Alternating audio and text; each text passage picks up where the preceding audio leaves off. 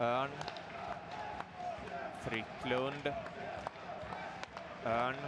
Och så en styrning. Var hamnar returen? Ja, undan av Lindbäck.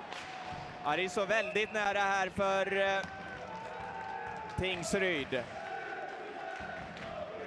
Ja, det är Örn som skickar in för styrning.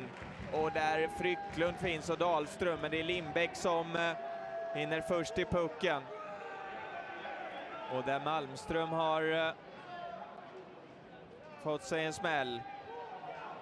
Ja, det är nog i den här, det här arbetet. Han får Sörensens eh, skridskoskena upp i eh, ansiktet och får gå ut i katakomberna.